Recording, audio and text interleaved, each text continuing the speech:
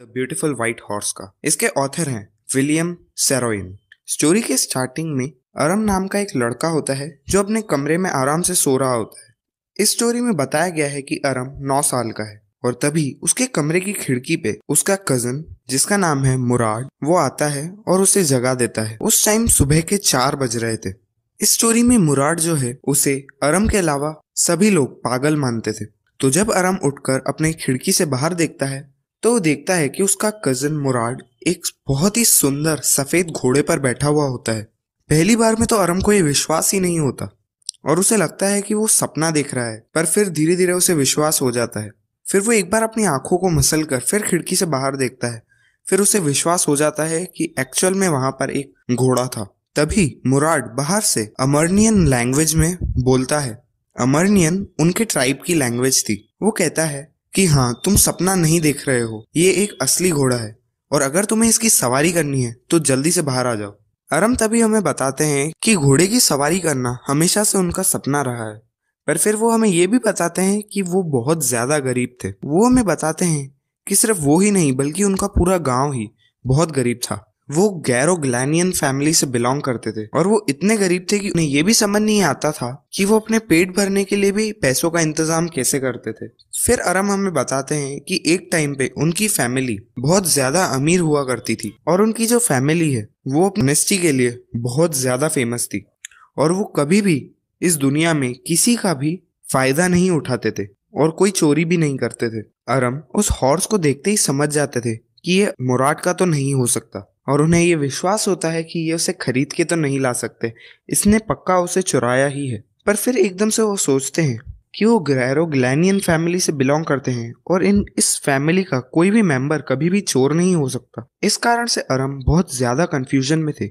एक तरफ़ तो वो बहुत ज़्यादा खुश थे और दूसरी तरफ़ उन्हें डर भी लग रहा था। फिर वो एकदम से मुराद से पूछते हैं, क्या उनने उस घोड़े को चुराया है? तभी मुराद कहता है कि, अगर तुम्हें घोड़े की सवारी करनी है तो जल्दी से बाहर आ जाओ। और ये जवाब सुन के अरम को ये पक्का यकीन हो जाता है कि उसने इस घोड़े को चुराया है। पर क्योंकि अरम को भी उस घोड़े की सवारी करनी थी तो वो कहते हैं कि ये घोड़े को सिर्फ़ सवारी करने के लिए चुराना, चोरी नहीं कहलाती है। ये चोरी तो तब जाके कहलाती जब वो उस घोड़े को बेचकर कुछ पैसे कमा लेते।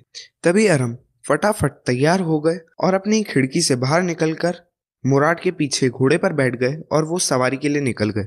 अरम का घर शहर के कोने में वॉलनट एवेन्यू पर था। और उनके घर के पीछे वाइन यार्ड्स ऑर्चिड्स और इरिगेशन डिचेस थे। और उसके बाद कंट्री रोड्स जब अरम और मुराद घोड़े की सवारी कर रहे थे, तब अरम हमें बताते हैं कि उन्हें वो बहुत अच्छा लग रहा था। वो बहुत तेज जा रहे थे और जो सुबह की हवा थी, वो भी बहुत फ्रेश थी। और तभी एकदम से मुराद गाना गाने लग गए। तभी ऑथर कहते हैं कि नहीं, वो गाना नहीं गा रहे थे, बल्कि चिल्ला रहे थे। फिर अरम हमें बताते हैं कि उनकी फैमिली में एक ना एक सदस्य तो पागल होता ही होता है। वो बताते हैं कि मुराद से पहले उनके अंकल, जिनका नाम है खोसरो, वो पागल माने जाते थे।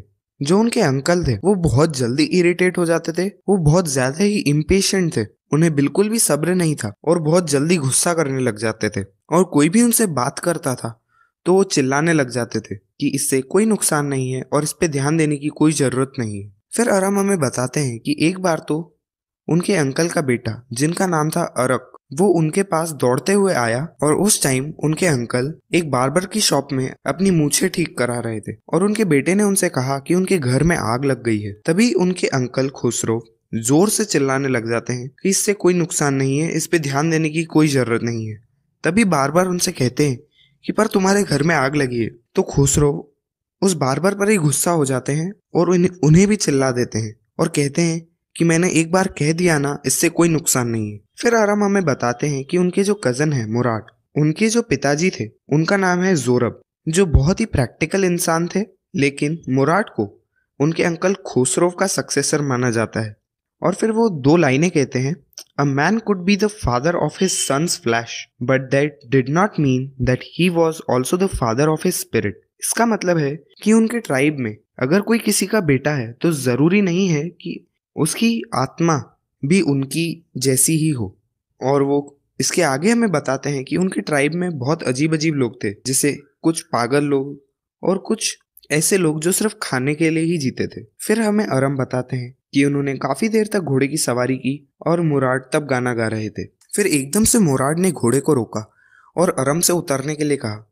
उन्होंने अरम से कहा कि तुम उतर जाओ, अब मैं अकेले सवारी करना चाहता हूँ। तभी अरम ने कहा कि मैं एक ही शर्त पर उतरूँगा। जब तुम भी मुझे अकेले सवारी करने दोगे तुम्हारे बाद, तभी मुराद कहता है कि वो घोड़े के ऊपर है, तुम्हें अपनी सवारी करने देगा या नहीं? तभी अरम कहते हैं कि ये घोड़ा मुझे उसकी सवारी करने देगा। तभी मुराद कहता है, ये हम बाद में देखेंगे, पर भूलो मत, ये घोड़ा मुझे समझता है। तभी अरम कहते हैं कि जैसे वो घोड़ा तुम्हें समझता है, वैसे वो मुझे भी समझता है। तभी मुराद कहता है कि तुम्हारी सेफ्टी इसी में है कि ऐसा ही हो। तभी अरम घोड़े से उतर जाता है और मुराद घोड़े की सवारी करने के लिए तैयार हो जाता है। वो ज़ोर से घोड़े को दौड़ने के लिए चिल्लाता है। तभी वो घोड़ा अब दो पैरों पर खड़ा हो जाता है और ज़ोर से गुर्राता है और बहुत ही तेज स्पीड से सूखी घास के मैदानों में दौड़ते हुए इरिगेशन डिचेस से होता हुआ पाँच मिनट बाद वापस आ जाता है। तभी मुराद घोड़े से उतर जाता है और अरम को बैठने देता है।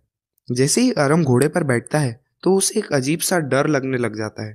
पहले तो घोड़ा आगे ही नहीं बढ़ता, पर वो जैसे ही घोड़े को बाद में दो तीन बार किक करते हैं, तब एकदम से घोड़ा वापस से अपने दो पैरों पर खड़ा होता है, गुर्राता है और दौड़ने लगता है। पर इस बार वो सूखी घास के मैदानों और इरिगेशन डिचेस की जगह डिक्रन हेलेबियन के वाइन की तरफ़ चला जाता है और वहाँ बहुत तेज़ी से दौड़ने लगता है और एकदम से अरम घोड़े से गिर जाता है और घोड़ा आगे निकल जाता है।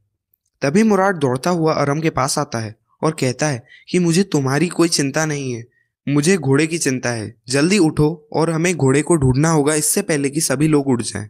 और वो अरम को दूसरी तरफ़ जाने के लिए कहते हैं और मुराद खुद इरिगेशन डिचेस की तरफ़ चले जाते हैं। इरिगेशन डिचेस वो छोटे छोटे तालाब या गड्ढे जैसे होते हैं, जिनमें पानी भरा हुआ रहता है और उन्हें खेतों की सिंचाई के लिए इस्तेमाल किया जाता है और आधे घंटे तक ढूँढने के बाद मुराड को वो घोड़ा वापस मिल जाता है। और एकदम से मुराड ज़ोर से अरम को कहते हैं कि जल्दी चलो। अब सभी लोग उठ गए होंगे। हमें इस घोड़े को या तो वापस करना होगा या फिर छुपाना होगा। और क्योंकि मुराड की चेहरे पर बिल्कुल भी चिंता नहीं लग रही थी, तभी अरम समझ गए कि वो पक्का इस घोड़े को छुपा देंगे। तभी अरम मुराड से पूछते हैं कि उन्होंने इस घोड़े को कब से चुराया है और वो कब से इस पर सवारी कर रहे हैं? तभी मुराद कहते हैं मैंने इस पर सवारी करना आज सुबह ही चालू किया है। तभी अरम कहते हैं क्या तुम सच बोल रहे हो? तो मुराद बहुत ही कॉन्फिडेंस के साथ कहते हैं नहीं पर कोई भी अगर हमसे ये सवाल पूछे हेलो मोटो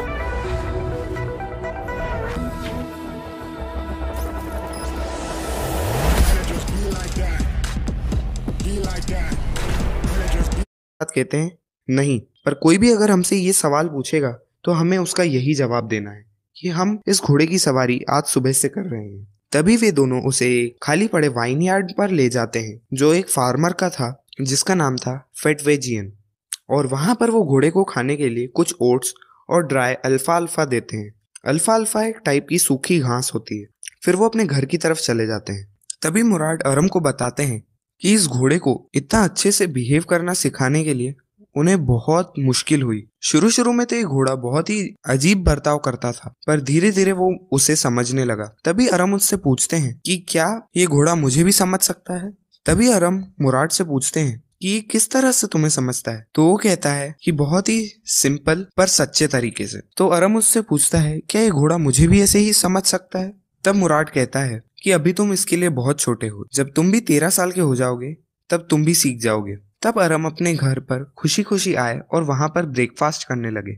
उनके अंकल खोसरो भी वहाँ पर आए हुए थे। तभी उनके घर पर एक फार्मर आया, जिनका नाम था जॉन बायरो वो फार्मर एक एसेरियन था और क्योंकि उनके गाँव में कोई भी उनके जैसा नहीं था, इसलिए वो भी उनकी भाषा, जो कि अर्मेनियन है, वो बोलना सीख गए थे। अरम की माँ ने उस फार्मर को कॉफ़ी और सिगरेट ऑफ़र करी। तभी उस फार्मर ने बहुत ही दुखी होते हुए उनकी माँ को बताया कि उनका एक सफ़ेद घोड़ा, जो कि पिछले महीने चोरी हो गया था, वो अभी तक वापस नहीं आया है और वो अभी तक नहीं समझ पा रहे हैं कि वो गायब कैसे हुआ। तभी अंकल खुसरो ज़ोर से चिल्लाते हैं और कहते हैं कि इससे कोई नुकसान नहीं है। और जब हमने अपना होमलैंड खो दिया है तो अब एक छोटी से घोड़े को खोना कौन सी बड़ी बात है? इतनी छोटी छोटी बातों पर रोने का कोई फ़ायदा नहीं है। तभी जॉन बायरो कहते हैं कि उनके पास एक घोड़ा गाड़ी है, पर एक घोड़े के बिना उसका क्या काम? तभी अंकल खुसरो हमेशा की तरह ज़ोर से चिल्लाते हैं कि इस पर ध्यान मत दो। तभी जॉन बायरो कहते हैं कि मैं दस मील चलकर यहाँ तक आया हूँ।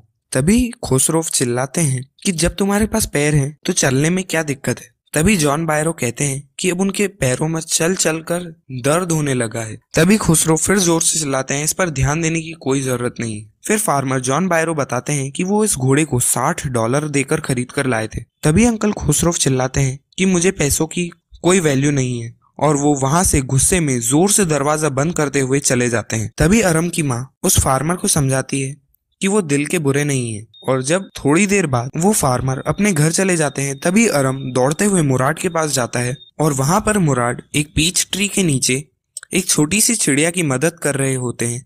जिनके पंख पर चोट लगी होती है। और तभी अरम उससे कहता है कि ये घोड़ा एक फार्मर का है, जिनका नाम है जॉन बायरो, और वो आज ही सुबह हमारे घर पर आए थे। और तुमने मुझे बताया क्यों नहीं कि ये घोड़ा तुम्हारे पास एक महीने से है? और तभी अरम कहता है, और तुम्हें मुझे प्रॉमिस करना होगा कि तुम इसे तब तक वापस नहीं लौटाओगे, जब तक मैं इस पर अच्छे से सवारी करना न सीख जाऊँ। तभी अरम कहता है कि तुम्हें इस पर ठीक से सवारी करना सीखने के लिए एक साल से भी ज़्यादा लग जाएगा। तो अरम कहता है तो कोई बात नहीं, हम इसे एक साल के लिए रख लेंगे। तभी मुराद गुस्से में कहता है कि हम गैरोग्लैनियन फैमिली के मेंबर्स हैं और किसी चीज़ को चोरी करना हमें शोभा नहीं देता। और इस घोड़े को अपने असली मालिक के पास वापस जाना होगा। तभी अरम कहते हैं कि कब इसे वापस करोगे तुम? तो मुराद कहता है कि छह महीने के अंदर अंदर मैं कैसे भी इसे वापस कर ही दूँगा। फिर उसके बाद दो हफ्तों तक मुराद और अरम ऐसे ही रोज सुबह घोड़े की सवारी करते और बाद में उसे उस वाइन यार्ड में छिपा देते। एक दिन घोड़े की सवारी करने के बाद वो जब उस घोड़े को वाइन यार्ड की तरफ़ ले जा रहे थे, तब उन्हें रस्ते में